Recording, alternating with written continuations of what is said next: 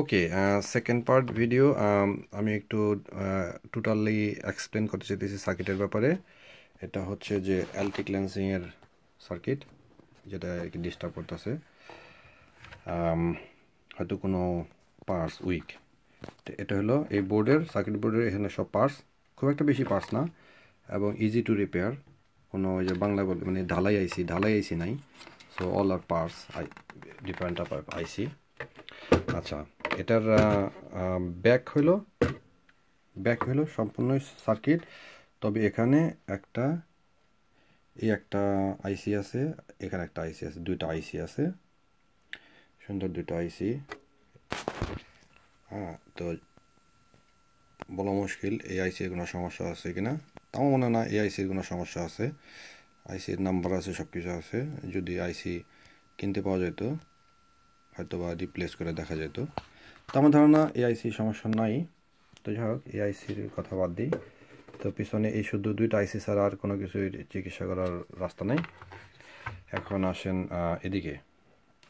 আপনি যদি বিভিন্ন অ্যাঙ্গেলে বা, না ফার্স্ট এই অ্যাঙ্গেলে দেখি এভাবে বাকি সোজা রাখলাম। আচ্ছা এখন আসা যাক। এখানে দুইটা ক্যাপাসিটার দেখা যাচ্ছে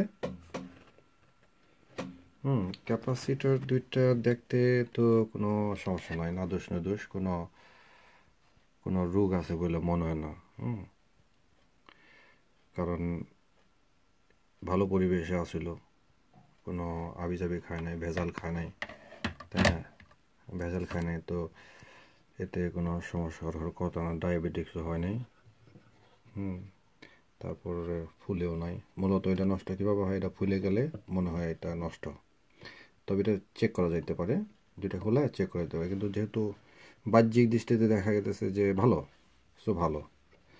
এখন দেখেন, আসলে যারা প্রফেশনাল তারা চেহারা দেখলে বুঝতে পারব।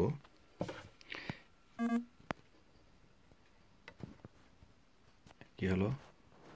ব্লাক হয়ে গেছে। যাই হোক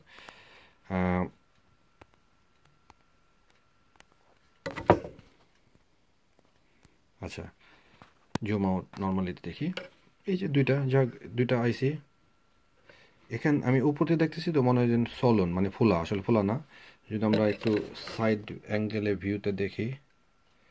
হ্যাঁ ক্লিন হ্যাঁ লুক লাইক ওকে এই দুইটা ছোটো, কী বলে এটাকে?